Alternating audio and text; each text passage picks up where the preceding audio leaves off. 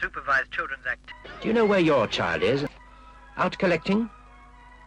Getting phones from older children?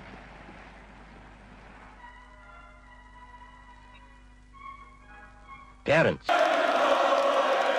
Where's your child tonight? Remember, this election is about you.